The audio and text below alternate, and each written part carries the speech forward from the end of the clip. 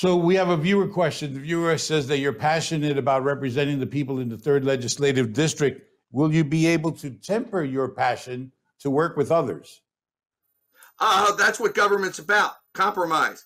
Now, uh, of course, I'm not going to compromise my core values, but you have to give a little to get a little. That's what exactly our founders uh, designed our government about.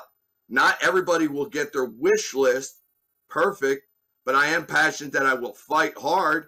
I'm not going to do something irrational. It, it, I do believe in certain aspects, and I will continue to argue the point, like uh, medical freedom rights uh, and religious rights. People have a right to decide their own fate.